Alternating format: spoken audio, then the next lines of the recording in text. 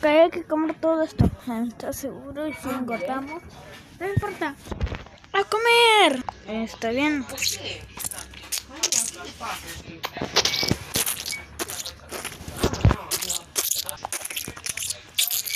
Oye, ¿por qué lo comiste despacio? Yo lo comí rápido.